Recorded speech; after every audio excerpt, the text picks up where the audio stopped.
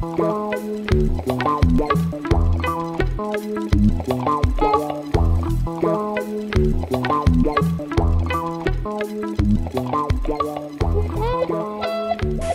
I think since I'm part of the organizing committee, it's hard to, to thank the organizing committee for having me here. So I guess instead it would be better to all thank Florence for setting the meeting because I mean she's been the one who's been doing really all the work from funding to organizing everything. So I don't know where she is. She's hiding somewhere, I guess. She's okay. So I'll do that at the, at the end of my talk so, so she can hear me. So what I would like to do today is talk about metronomic chemotherapy, which is an alternative way to give chemotherapy, and we'll see it can be patient-friendly and it, it, it's clinically meaningful. And that's, that is going to be the first part of my talk. And in the second part of my talk, I would like to, I thought it was a nice place to introduce something that I had in my mind that I called chaotic therapy. So I think it was interesting to propose it to mathematicians and modelizers to think what they thought about the concepts. So um, I look forward to having your feedback on that. So first of all, something we do in, in, in, medicine. I don't know if you do that in mathematician, but I do not have any conflict of interest that could impact on my talk today. So to give you a global background, since you're all coming from different area, you know that over the last decades, in the Time magazine, we are being told that we have at last found the cure for cancer, but obviously the story is repeating again and again and again, and still patients are dying. So we're not quite there yet. You know that cancer is a global killer, um, and the main issue is that the number of cancer cases is expected to rise drastically over the next 15 years.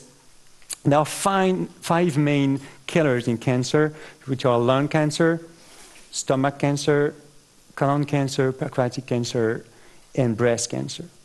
One thing that, we, that most people don't know about is that most of these cases actually occur in low and middle income countries, which account for 70% of the cases. So this is something we have to keep in mind, I think, because we are, we are actually doing research for those who are already mostly cured, and we left behind all those that do not, that not, do not even have access to treatment. But we'll, we'll, talk about that at the very end of my talk.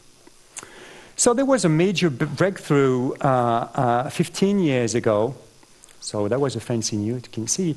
In the treatment of chronic myeloid leukemia, Ursula talked about it yesterday a bit, so you know everything about it, just she, Google, she Googled it. And so basically in that disease, uh, we knew there was a specific chromosome called Philadelphia chromosome, and, and that because there was like two one pieces of chromosome 22 that would go on, on chromosome 9, and they would result in the production of a new kinase that is really capital for the, the, these leukemia cells to survive. And so the chemist designed a molecule that could inhibit this tyrosine kinase. And when this drug was given to patient, as you can see, this is the evolution of survival according to time in, in this patient, and so different treatment area. So as you can see, we were doing like really not very great for that disease, and with the introduction of that targeted therapy, we were able to cure or to control the disease for this patient for, and for most of the patients. And the second thing that is very important, since this drug is very specific, it has very, very little uh, side effect as compared to to chemotherapy. So we thought we had it. The idea was just like we have a cancer, we identify a specific molecular abnormality, design the drug for that, give it to the patient, that's it, they're cured. But unfortunately, it has, been, it has proven not to be that true. And actually, it worked because that abnormality is so strong and so capital and so unique in that disease that if you can inhibit it, inhibit it, it works really nicely. But I think we have to keep in mind that this is a very simple disease, and it's well treated and easy to treat with one single drug, basically given at the same dosage every day. So sometimes you can adjust the dose because it's too toxic, or because we have found out that if you have to have a certain level of drug in your blood to ensure a, a, maximal activity. So if you have a lower level in your blood, then you have to raise up the, the doses a bit. But it's, it's still very simple.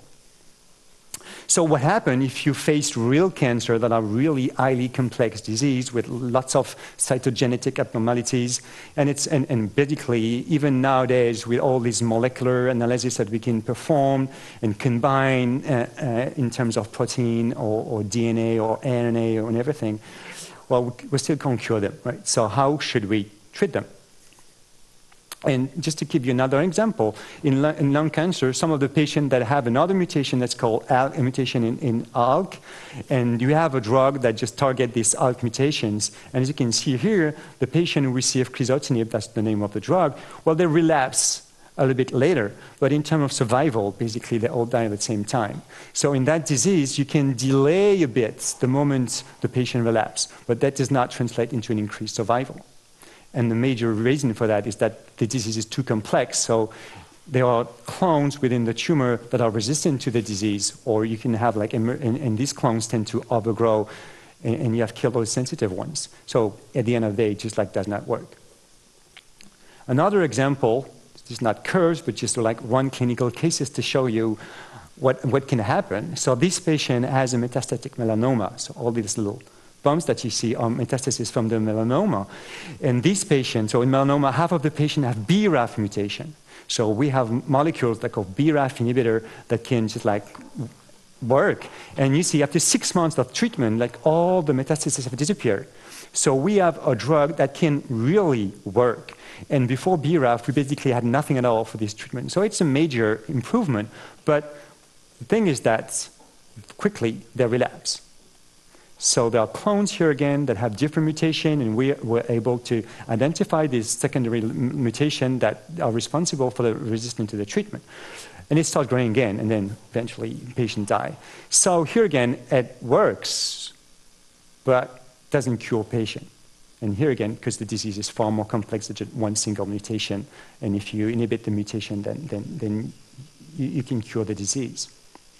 So this is a global conceptual uh, slide that I, that I got from the internet, uh, which tells you basically what progress we've made in terms of longer survival, uh, an increase of survival with different components of treatment that we can use, chemotherapy, target therapy, and now the immune checkpoint therapy. And as you can see here, we now recognize that with target therapy only, we just like don't do that much. It's not that better as compared to chemotherapy. But it took like 15 years to, I mean, we knew, I mean, we could say it wouldn't work that well, but still, it took five years to have officially that slide out. And it's been, uh, it's been used by all the, you know, regulatory agencies to just like acknowledge the fact that it's, it's not enough. And so the big thing now is to target immune checkpoint inhibitors plus eventually uh, um, target therapy, and, and hopefully we'll do better. Me, on that slide you don't have time scale and you don't have percentage. I, I think that's exactly, that's, that's the point with this slide. So you can read whatever you want.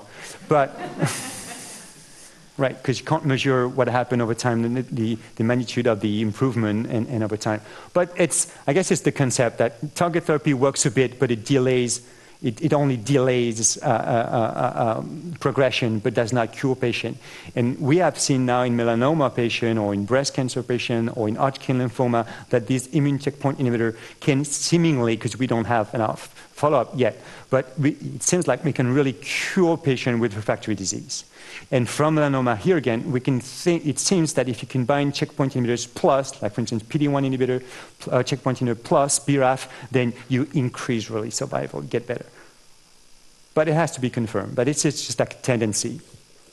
But you're absolutely right, as usual. So still, what we do is still use a lot of chemotherapy for our patients. And what is, it's interesting to look back and see how, according to what we understand in terms of cancer, we use chemotherapy. And we started from conceptualizing cancer as just an aggregate of cancer cells to cancer cells but do not divide at the same time to cancer cells within a microenvironment, vessels, immunity, to an heterogeneous with clones that are slightly different, that grow at different spaces, that interact with each other. And so it makes the whole, the whole treatment more, more complex. And so basically, this way of understanding cancer make us use chemotherapy differently. So in the beginning, as we thought it was just like cancer cells, the, the in vitro data kind of told us the more drug they use, the better it's going to work. But that's the MTD, maximum tolerated dose chemotherapy. At some point, the patient you have to stop because it's too toxic. And if you keep going up, then you kill the patient. And the thing is, you, can, you have to space the injection of chemotherapy because you have to let your body recover from toxicities. So that's the MTD model. Then Norton Simon came up with a new idea because they realized that the cells were not all dividing together.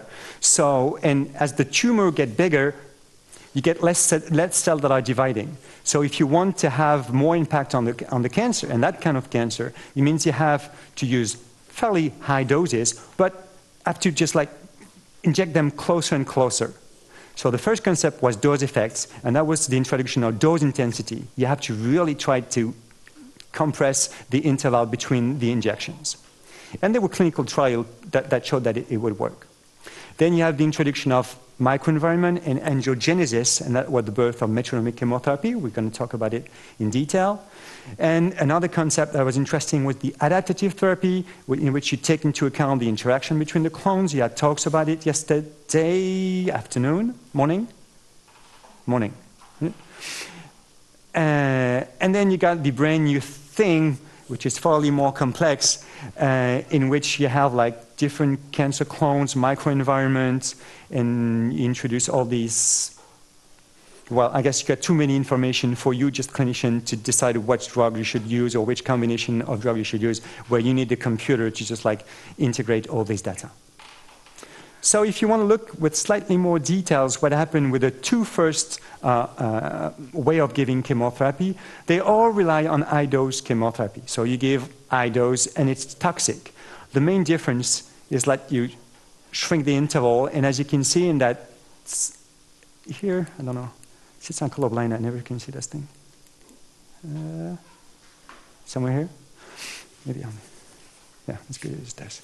So if you use the standard MTD, you see that every time you give chemotherapy, the burden, the tumor burden just like decreases. And if you give like shorter interval, then it, it, it works better. That's the model, and it, it, it turned out to be true. But still, you know, that's high dose chemotherapy, that's toxic. Then there was these two concepts, they're slightly related because they're, they're not aiming at destroying cancer cell at all cost, but they're trying to control the tumor. So that's uh, a metronomic and the adaptive therapy concept proposed by Gatenby. So this is basically what he managed to show. Um, the idea is to just control the tumor. And seemingly, you hit hard in the beginning, what we call bang bang, and then you just like lower the doses progressively just to contain the tumor as it starts growing again. And the, the thing behind it is that you have these sensitive clones and the resistant clones. And the sensitive clones grow faster than the resistant one. So you have to still have within your tumor a certain amount of sensitive clones that can keep growing. And then every time you hit, you get rid of the, oops, my ears are too small. Um, and then, so you have your sensitive clone that start growing again, but since they're sensitive to chemotherapy, if you hit slowly, you can just like maintain the global volume of the tumor and, and then control the whole disease. So here, this is the control, these are mice that I've been treating, so you can see the shots of chemotherapy here. So in blue, you got the MTD, so basically, you control it in the beginning, and then just like the tumor escape to the treatment. And you got here the adaptive scheme. And you can see all the injections here. So they are calculated on the rate of growth of the tumor before, before you inject the, the, the, the drug. And with this approach, uh, you can control the tumor for a long period of time. Well, different, different model. And so that, that's the idea with this cartoon. You just like control the disease and cut what comes out of the box whenever you need it. The second very important concept behind these two approaches is that when, you were, when we were using high dose chemotherapy, we knew that even if you let some time for the patient to recover, at some point it's getting too toxic. And you have to stop treatment, otherwise you will, you will kill your patient. So you can like, keep on treating them forever. With this new approach, since we were using low doses of chemotherapy, then it's non-toxic or it has only very limited toxicity, so we can keep giving it, not forever, but for a long period of time. And the idea that came out of it is that maybe instead of trying to get rid of cancer at all costs but not being able to do it, maybe a more reasonable goal would be to control it but for a long period of time. And since we had treatment that were well tolerated, maybe it could be doable. And some of the key opinion leaders came up with the idea that maybe we should consider cancer as a chronic disease. Right? If you have diabetes or hypertension, there's no way you're going to be cured. You have to take your, your medication all life long to just live with it. So maybe there's something we could work on for, for, for, for, for cancer. And it's also a concept that has been used for target therapy. So, no, same color. Should be the same color, but I'm colorblind, so it's different colors. Right. Um, so, as you can see here with Gleevec, we just like have one only one way of giving it, same dose every day. Well, if you think about chemotherapy with the very same molecule, you can give it differently in terms of doses, interval, time of administration. So don't ask me why we just like trying to do the same thing for target therapies. It's just the way it is. And so let's go to metronomic chemotherapy. So metronomic chemotherapy is that bar here. Maybe that's why I changed the color. So we're going to have a look at this, this long bar that's called metronomic chemotherapy. So the initial description of metronomic chemotherapy as metronomic chemotherapy was published at the same time by the two leading teams in the field of angiogenesis and cancer. The team from Judah Folkman in Boston and the team from Bob Kerbel in Toronto. And together with these two papers, there was an editorial in the JCI that really coined the term metronomic to this uh, um, pharmacological approach. So if we look at what this very first paper was saying, what they did is they had like mice with lung cancer carcinoma. So in that, in that very specific graph, they grafted lung cancer cells that were resistant to cyclophosphamide, which is the drug that is being here. So if you put cyclophosphamide in, uh, in the cell lines, they just like nothing happened. They're totally resistant to it. So if you oops, don't do anything, see the tumor grow quite fast. If you use the MTD schedule, you barely control them for, several, for, for, for some days, and then they start growing very fast. And if you use the low dose anti-angiogenic schedule here, you can control the resistant tumor to the very same drug for a long period of time. The other interesting thing if, is that if you combine it with an anti-angiogenic agent, you can overcome resistance and control the tumor for as long as the, uh, as the, as the mice live.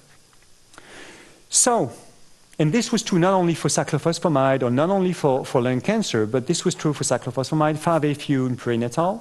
And that was good. That was true for sensitive and resistant cell line. And this was true for lung cancer, leukemia, and breast cancer. And the other very important finding is that it would actually work not because you can kill cancer cells with your chemotherapy, but because you kill the endothelial cells. Right? So you have an effect on the vessels, and then in turn, an effect on the cancer cell lines, on the cancer cells. And if you measure, that's the first thing. So you change the target.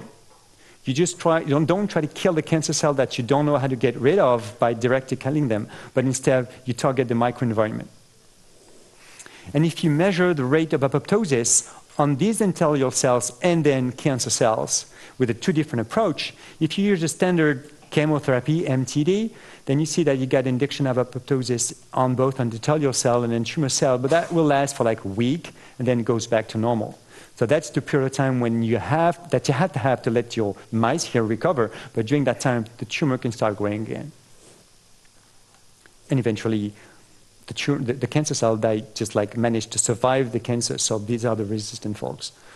And, and here, with the sustain low dose administration, you got to sustain induction of apoptosis both in endothelial cells and tumor cells. So there's no rest for the tumor. And during 20, 21 days in a row, you can have this anti-cancer effect. And since you resume the new cycle after 21 days, you get a non-stop anti-cancer effect on your resistant cells here. And actually, the funny thing is that we've been using it without knowing that we were doing, it was called metronomic for decades. This is a paper from 1963. So that was almost the beginning uh, of chemotherapy and the beginning of treatment in leukemia. And this is a randomized trial. Patient would receive the injection, and then for those who are in bone marrow remission, so if you put, get some you know, bone marrow sample, analyze it, they cannot see any um, cancer cell left, and then they're randomized to receive either placebo or low dose Purinethol. It's low dose, it's just far below the, the MTD. And what happened here, so it's not a major success, but it's back to the 60s, right? And, and sometimes it's not, we're not doing any better in terms of success anyhow. so, and as you can see here, the, the, the one who were receiving the, the Purinethol was surviving longer, and the difference was statistically significant. So, retrospectively, this is the very first proof that metronomic chemotherapy can increase survival of patients with leukemia, actually, children. And we recently because every time we were writing papers with Eddie over there, and reviewer were making nasty comments about, well, you saying that maintenance is metronomic chemotherapy, this is misleading, this is not true. So we decided to measure, I have a little study to measure angiogenic, anti or pro-angiogenic markers in the blood of patient children who are receiving maintenance treatment. And what we were able to show is that in this patient, during maintenance. So the maintenance lasts for 18 months, right? It's, pretty, it's fairly long. And so, so we measure all these elements every six months. And so there was a decrease in the endothelial microparticles that was statistically significant. So this is a marker of the activation of the endothelium. So it means you somehow put the endothelium to rest.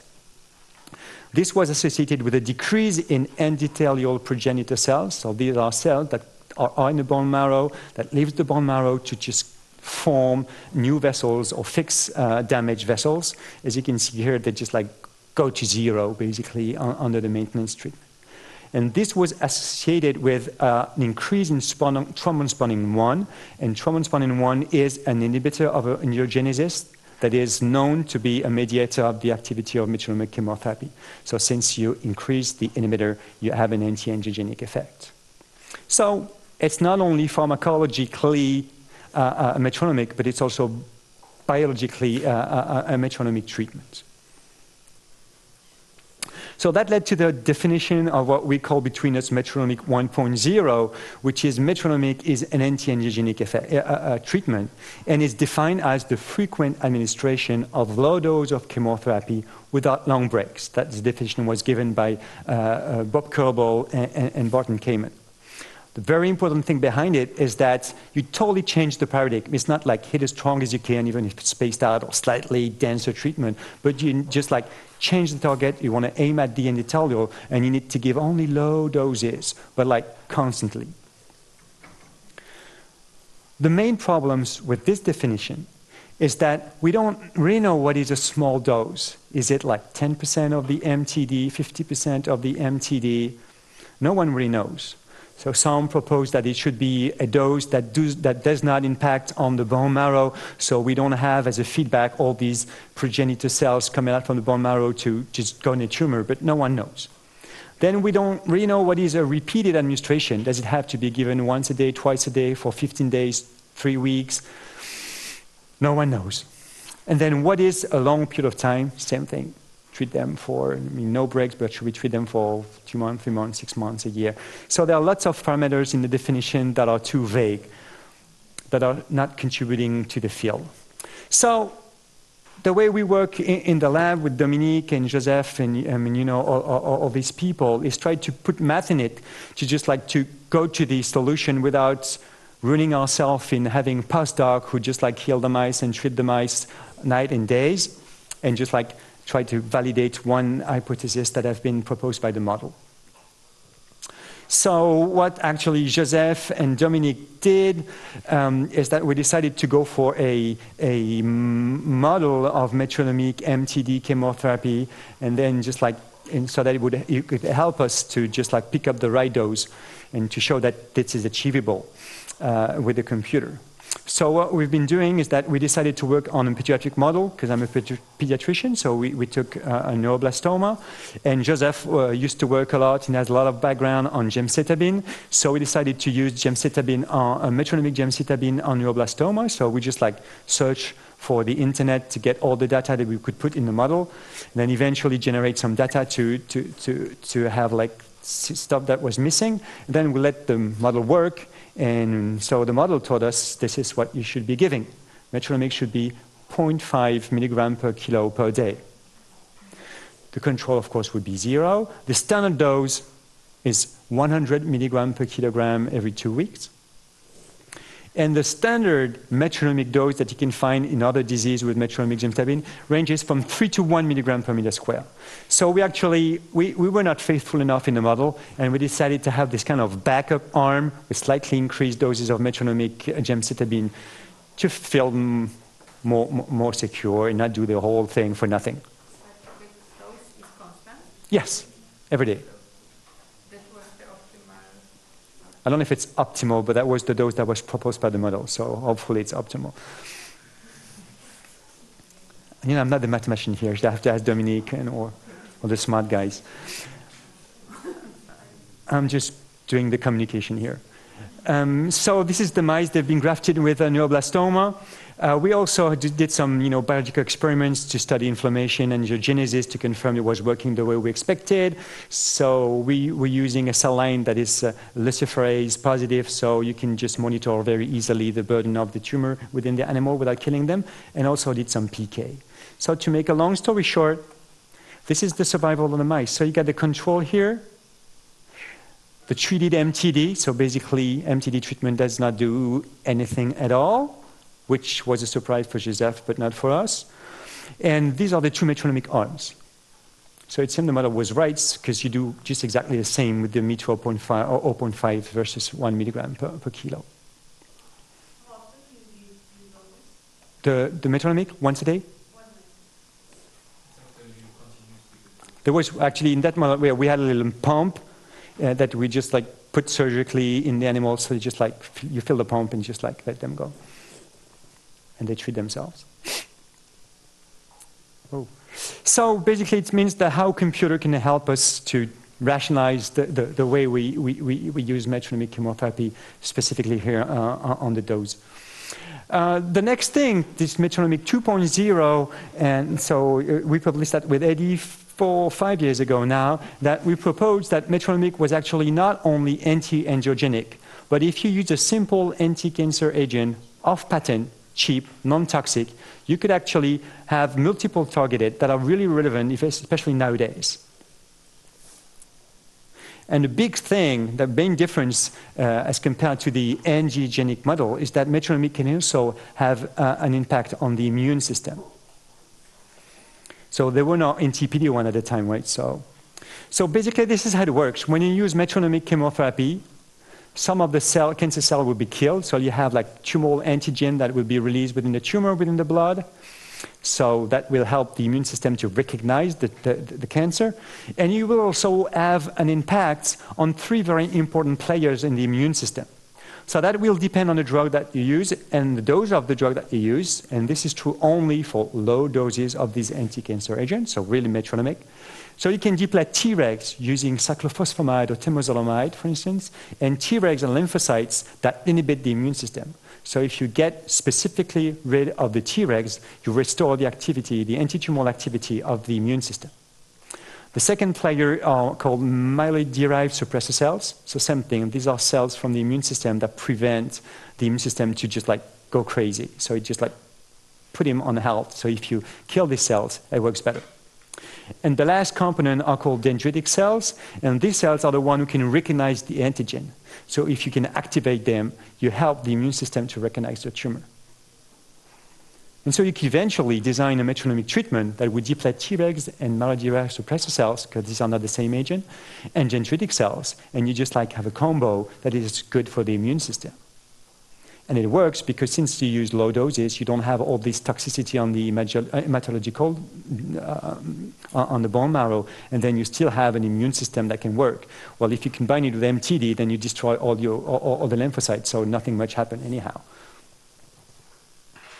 So this very nice paper that was published by a French team from Paris in, in cancer research, and, and it just illustrates really well what you can achieve with metronomic chemotherapy on the immune system. So they have animals, they tested different drugs, checked for the different you know, immune cells uh, that, that, they had, and what they were able to show here, for instance, in Tregs, if you use cyclophosphamide, you deplete the Tregs in the spleen and also in the tumor. And it seems to be specific to some extent, because 5-FU, for instance, won't do that kind of job. If you check for these myeloid-derived suppressor cells, so gemcitabine low dose and 5-FU low dose can deplete these cells in the spleen and in the tumor. And if you see what happens in mice, then you see that if you use this low dose 5-FU, you got an anti-tumoral effect that you don't have with doxorubicin that has a slight anti-cancer effect and that, but that you don't have in the control. And in terms of tumor volume or, or mice survival, they use single agent low dose and combination of low dose chemotherapy. And the interesting thing here is that if you combine cyclophosphamide and 5-FU, so if you deplete Tregs and myeloid suppressor cell, then you have a stronger effect on the tumor volume, but also on survival. And to confirm that this uh, that works through the immune system, if you do the same experiments in nude mice, nothing happened at all. So it means really related to the immune system. Another experiment to confirm, for instance, that 5-FU works through the, through the destruction of, of myeloid-derived suppressor cell is that if you reinfuse this kind of cells to the mice, well, you lose the effects of the 5-FU. So that's very nice. But remember, the, the people who were doing angiogenesis were working in nude mice, and still it was working really well. So it seems that if a team works on angiogenesis, they use low dose, it's an anti-angiogenic approach. And if a team works on the immune system, well, it works through the immune system. That was kind of puzzling, and we don't know what was the, the trick here. And we had some clue thanks to the work of um, Waxman in, in Boston, in, in, Harvard. And while he has a strange model, but still, uh, um, it's, it's, it's, it's, an interesting clue. And what he showed, he went back to the initial publication from, from, from, Robert, from Bob Kerbel, and he, he noticed that the way they were giving metronomic was not like really daily low doses, but slightly more higher doses, and they had little breaks. So he tried, investi- he tried the experiments and confirmed that in, in his model, the slightly spaced out metronomic higher doses was working better than the real metronomic. While you have like clearly lower peak of, of anti-cancer agent, but still the same uh, uh, area under the curve, so it means the global exposure of the tumor to, to, to, to the drug. So it means that and it was associated with increase, with a de decrease or increase of, of the, the uh, cells from the immune system that, that, that was interesting.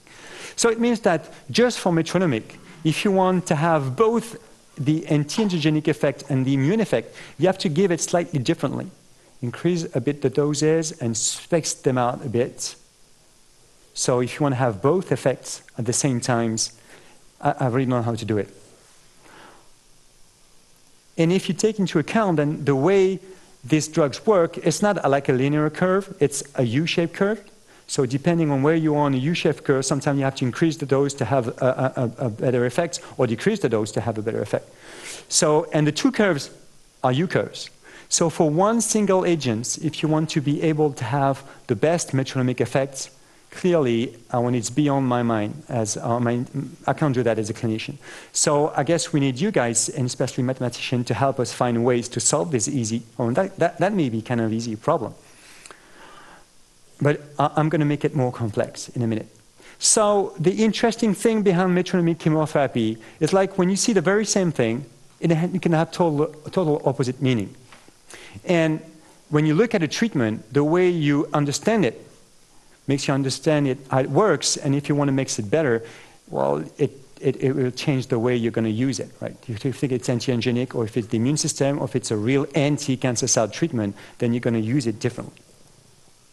So if I, if I show to a clinician that kind of treatment, temozolomide every day, he's going to tell you, well, this is temozolomide. I will say, well, this is metronomic temozolomide, So I will think, well, this is maybe anti-angiogenic, or this is maybe it has some immune activity. So I think this is very important.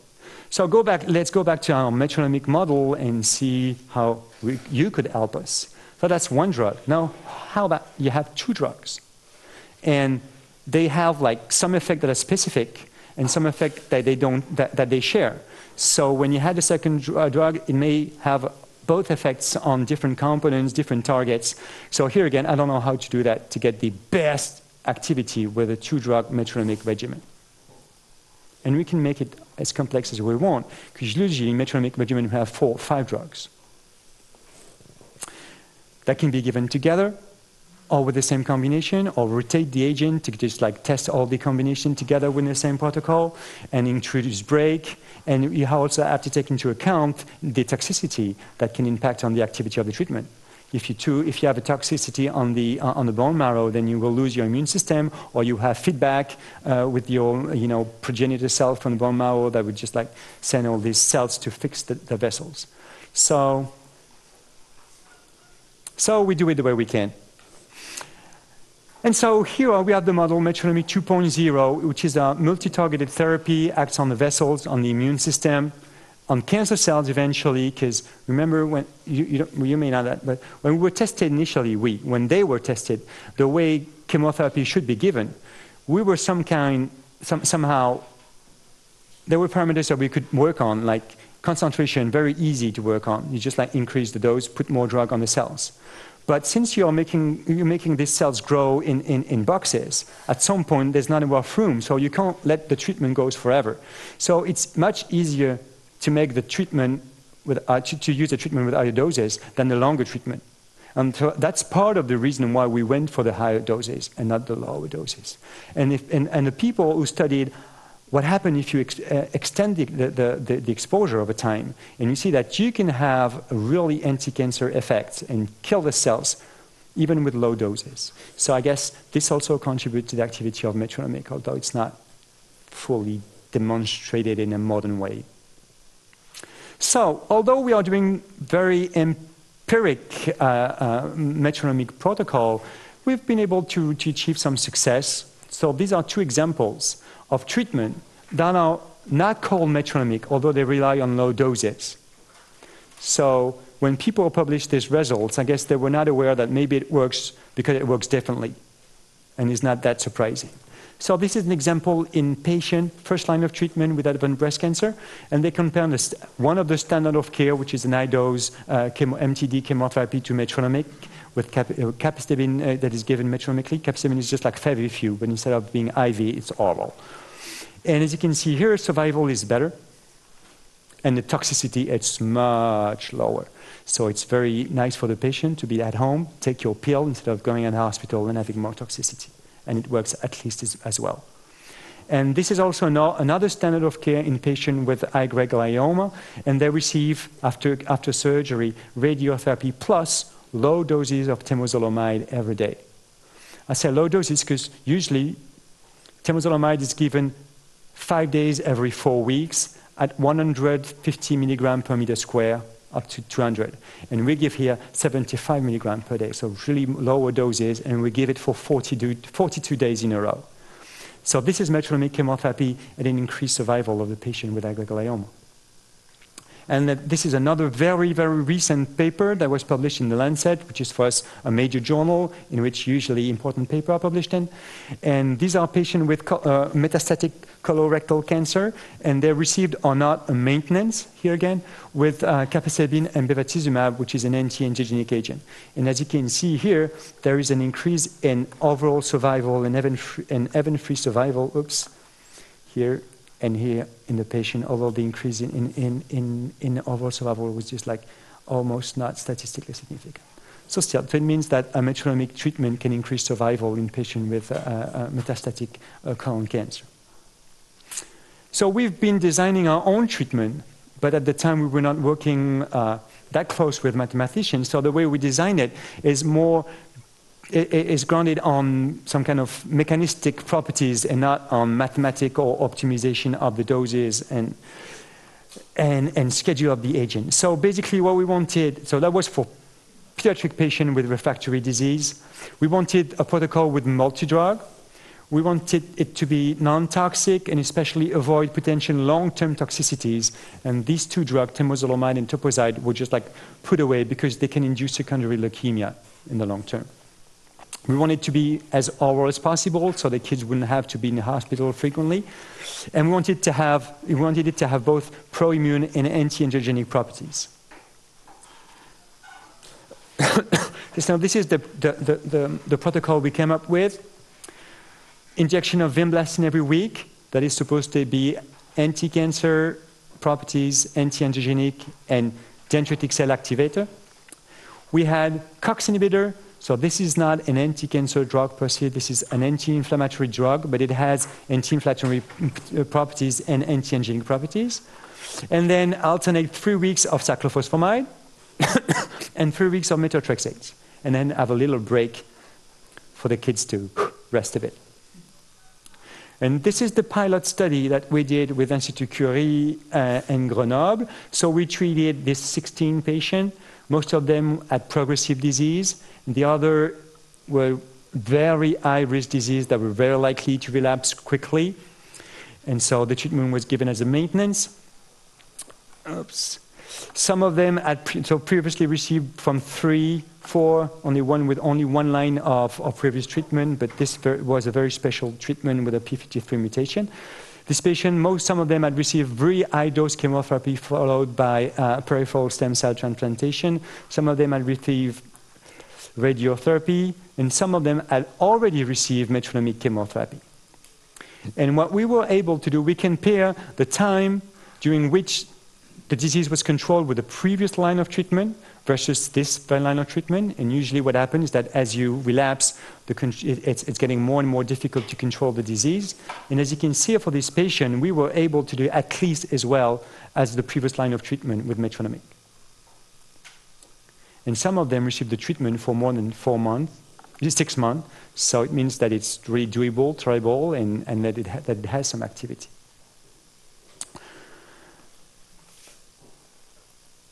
So if you want to take into, uh, if you want to design a metronomic protocol the best way you can, there are some parameters that you have to take into account.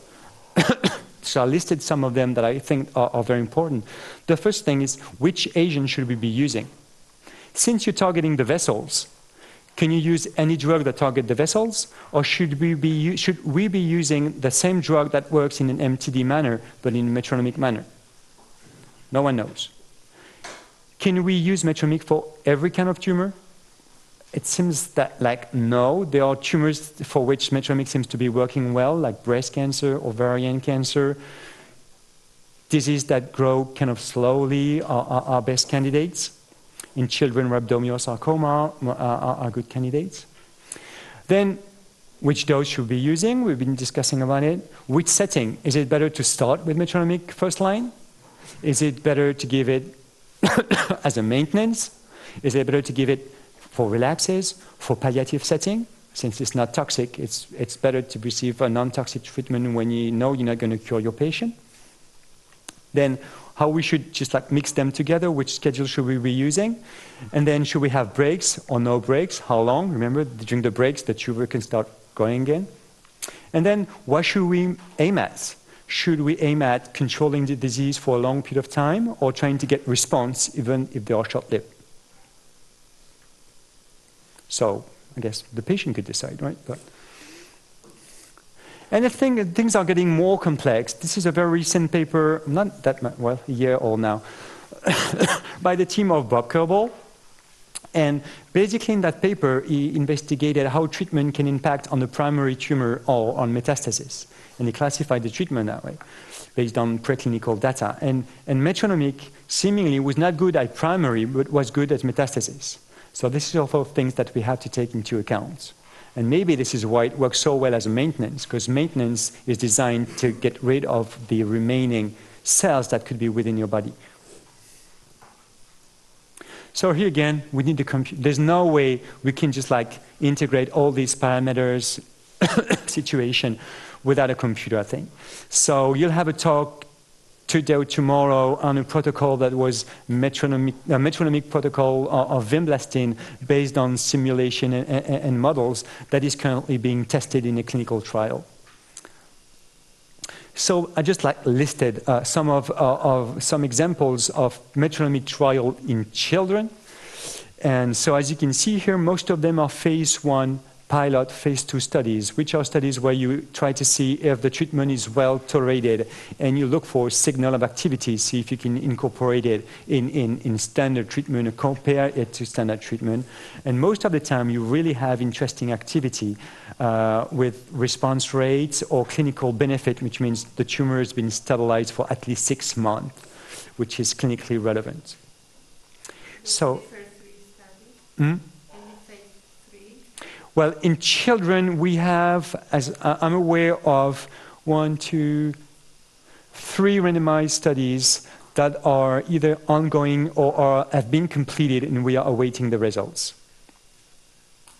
And there are European trials, for instance, in medulloblastoma, where people agreed to have the, the, uh, a metronomic maintenance. So, but I mean, it's going to take like another a year before we can initiate the trial, and then five years to recruit, and then another at least three years before we have the final results. So we, can, we, we have time to talk about it. So, uh,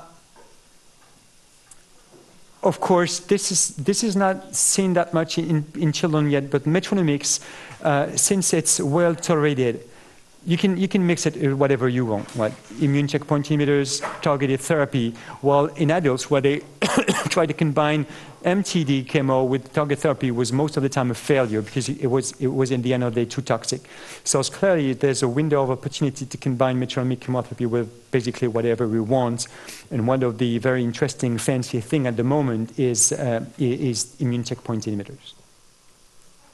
So, um, this is it for metronomic. It's, and I hope I, I convinced you that it's an oral, so easy to take, non-toxic. It's also important, but it's cheap treatment.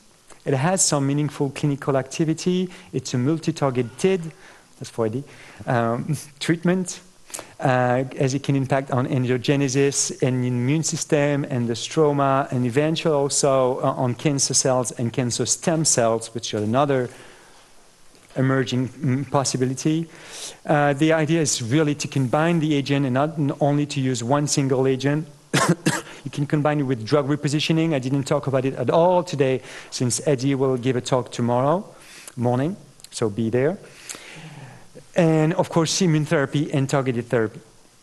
And there's so much parameters to take into account that I think we cannot do a nice work, constructive work, and not just be on scene without you guys and come up with computational metronomic, as we call it.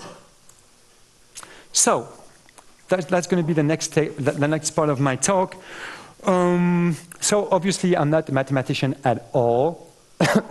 so I guess it's, it's something that I had on my mind for several months, years. Um, uh, I, I, had that kind of idea of a treatment that would constantly change, and so it wouldn't be easy for, for, the, for the cancer cells or the, or the tumor to cope with it. So I called it chaotic, and I'll, I'll, try to see today if it's really chaotic or not, but I guess I'll wait for your feedback to tell me if it's chaotic or not, although it's not really important as you see if it's chaotic or not. So this is a starting point. Easy disease, easy treatment, it works well. Fortunately, this is very rare. Most of the time, complex disease, don't know how to treat it. I can't do that again. So, so the idea is how can we overcome the capacity of tumor to mutate and adapt to basically any situation, and especially our treatments. So we know that cancer, well, we know, it's been described by several papers that cancer can be regarded as a chaotic system. Um, so I listed some of the publications, but there are like, like dozens uh, uh, of them. And one of the critical properties that have emerged from the research recently, it has a huge potential of evolution and adaptation. And we don't really know how to cope with that. So the idea, what, what if you can come up with a treatment that is changing constantly? And, it, and, and so it means like, could we have a chaotic treatment and fight chaos with chaos, and we could come up with some order and activity out of this. So remember, this is just basically what we can do with a single agent. And we can just like combine this approach. So you can come up just with one agent with treatment with different intensity, different schedule, different density, different dose effects, and that would target cancer cells, cancer stem cell, immune system, stroma, well, any components of the cell with it, just this. So what if you use different agents? It's getting slightly more complex, so a color, an, an agent, and then here again, if it's high, it's a big dose. If it's like it's a long period of time, and then if it's more or less spaced out, it's when you give the shot. So the idea, can we treat a complex disease with a chaotic complex treatment? So I don't know if it's a good or bad idea. So my first reaction was like, as a physician, if you tell me you're going to use chaotic therapy, uh, it's kind of freaked me out, right? Because um, anti-cancer drugs are toxic.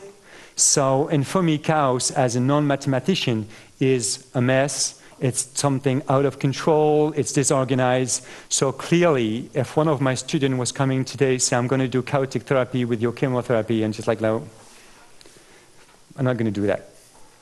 So then went back to understand what it would come from. So chaos is actually a Greek word, right? It comes from Greek mythology, and chaos was what, what's the first thing? What, before nothing, it was like before even Gaia, the earth, or all this legend from the ancient Greek world were there. I know did Eros for Ursula purposely. And well, the thing is that the chaos is, is like an endless abyss in which you can constantly fall in any direction, and it's reported to be some kind of dark. So you're like in the middle of nowhere, going nowhere for whatever, wh however long. Give you an idea. So still, as a physician, I was not really reassured. Hmm? So I went into math. So I don't talk math. So first I read in English in Google, but I wouldn't understand either. So I said, let's go and, and read it in French. We, well, it's, it was getting better, but still. So what I got is that it was the word chaotic was introduced by two mathematicians, and it was basically a way to solve problem that otherwise would not be solvable with classical mathematics. And the key features would be that non-linearity, the system had to be dynamic, not necessarily complex, and the very big thing, and you can correct me if I'm wrong, is that the system and the behavior of the system strongly depend on the initial condition. And if you change slightly the initial condition, the behavior will be totally different. So that what is called, I mean, we all know about that, it's, it's called the butterfly effect. And usually people understand the butterfly effect as a cascade, domino cascade effect. It's not like you do something that will do something, do something, and then you turn the computer and the whole body collapses, right? The whole building collapses. It's just like a little change will make the, the system different, behave, behave differently, and, and, and, will be, uh, and will get in the end a very different outcome. And there are also, so the outcome is totally unpredictable. And also some other dirty words, and just like I couldn't figure out what they were really in terms of poor clinician, uh, what they could physically mean, like attractors, and you got also these strange attractors, and you got the sustained regularity and the feedback, so well, I, I, would be willing to learn more about it. So what I do usually is I, I use analogy a lot, and when I think about chemotherapy multi-drug regimen, I, I, think about music, you know, and, and, and the chart of music. So I, I checked uh, on the internet again and said, what could it be like as a, a chaotic music, right? And this is the first drawing that I came up with. So here again, like, no, no way I can do that kind of, of music in chemo to my patients. But when, when I, I, just searched a little further, and, and I found this. And I said, well, maybe this, this closer to what I have on my mind. Maybe what we need is just like a complex chemotherapy regimen. But actually, that guy who makes like chaotic simulation of music translate the complex or the simple or the moderately complex melody or whatever we call it into the equivalent chaotic music. And when I look at this, I was really reassured. Because I said to myself, well, if the black dots a black unit is a dose of chemotherapy, and a white dot is no chemotherapy, and it's just like a single agent, one color. Well, I can do that easily. Right? I can reproduce that in the clinic. I just have to decide what is the maximum amount of drug that I can get, and I can guess, I guess, use that in the clinic, of course, after validating it in preclinical animals and so on. But it's really doable. And then I said, well, let's go back to our multicolored, multi-drug regimen. So here again, I came up with patterns that are chaotic. That's what they say. And here again, if I decide that a square is a unit of drug, that every color, two minutes, I'm done, is uh, um, uh, a, a, different, a different drug, then I can eventually come up with a metronomic, uh, metronomic a chemotherapy protocol that will follow a, a, chaotic concept. So actually, this has been done. If you look at leukemia treatment, right? So we started in the 60s, we were really bad, and ended up in, in, in, in the beginning of the century with really good results. And this is what the treatment looks like at the moment. So it's fairly complex, different modules, Patients are stratified according to the so-called risk of their disease. And this is, look, this is what it looks like, the different phases of the treatment. Different drugs, different schedule, different doses, different doses for the same agent. So you, you start with induction, then, and then go to protocol 1B, then ADE, and then MAE. So here again, different schedule, different drug, different dose. It goes on, it goes on. So, and if you go back to this colors and drugs code, you see that you end up with something that looks pretty much like the thing that I have on my mind. And basically, if you just like look at that from, from an aircraft, you see that the, the concept of treatment of leukemia relies on five different phases of treatment that all combines dose effect, dose intensity, different agent, different way to give the agent, time of infusion, etc., etc. So you do have an ever-changing treatment with dose intensity variation, dose effect variation and you never know what the treatment is going to be like because there are small changes just like in the chaotic therapy because you don't really receive the treatment at the very same time your body will not absorb the drug the same way and so because of this difference the impact on different components of the cell of the tumor will be different and at the end of the day it's totally unpredictable if it's going to work or not and when it's going to work and when it's not going to work so I guess the idea would come up with a, to come up with, with a mathematician, I would be able to design a treatment that would be clinically doable, so not too toxic, changing, dynamic treatment, strong dependence of the initial condition, it's just like it's, it's part of the game. And so come up with combination of agent, different dose and schedule that would target all the components of the cells. So to do that, so I don't know if it's a good idea, just like this round dice. But I need input from the mathematician to decide if it's chaotic or not, and just like give us the idea of how the model could work. Then use the modelizator to input what we know about one, two, three drugs and tell us, well, this is something that is chaotic that should be doable. Test it in the mice with the biologist, validate the model, study how it works, how it does not work, and then eventually someday test it in the patient. And I don't know, I don't want you, some of you guys that would be chaotic expert. I like to be a chaotic expert. And well, if it's not chaotic, it's no big deal. We can call it complex dynamic therapy, but I think because I'm the communicator here, I guess chaotic sounds better, right? So I've just one, one three last slide. Um, with Eddie that, that is here and, and, and, and um, a researcher that is in Barcelona, we all share a kind of vision that we are doing research for as many people as we can, and eventually for the people who don't have much already. So we think that our research must be associated with social innovation to make as many people uh, as possible uh, hopefully have some benefit from it. So in that respect, we launched the global, uh, Metronomic Global Health Initiative three, four years ago now that aim at promoting metronomic chemotherapy for children living in low-income countries. Since it's cheap, it's non-toxic, it's really an alternative to standard treatment for this patient. So we try to network. We have a website. You're most welcome to have a look.